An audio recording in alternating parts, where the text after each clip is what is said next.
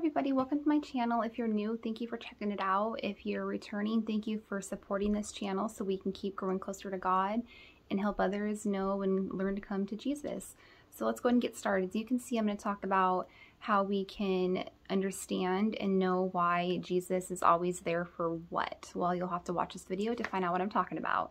So I'm going to read this uh, verse here, and it talks about Lamentations chapter 3, and it says, verse 22, starting through 26, The faithful love of the Lord never ends. His mercies never cease. Great is his faithfulness. I say to myself, The Lord is my inheritance. Therefore, I will hope in him. The Lord is good to those who depend on him, to those who search for him. So it is good to wait quietly for salvation from the Lord.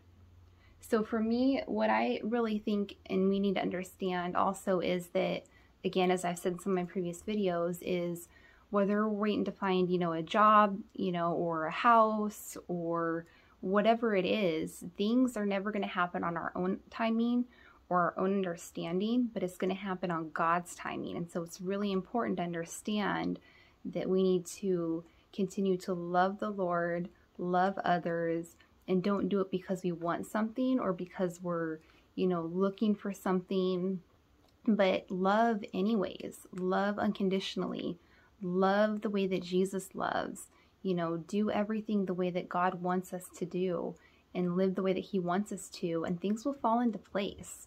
And He has an amazing life for us if we choose to follow His path. And just know that what? He is always, always going to be there for each and every one of us, and He will always, always love each and every one of us.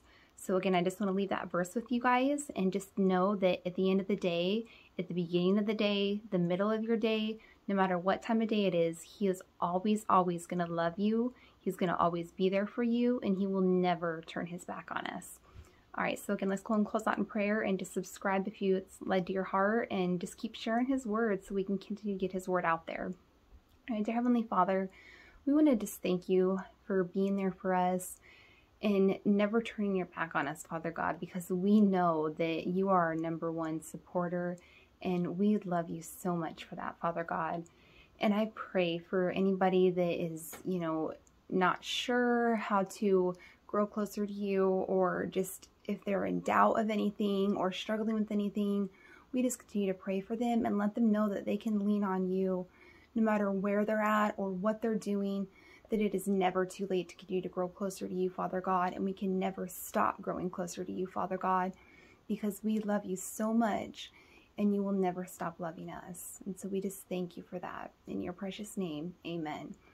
All right, again, thank you all for watching this video and still, let's just keep growing closer to him. All right, love you all and just keep checking out these channel videos and let's just keep growing closer to him. All right, stay tuned for my next video.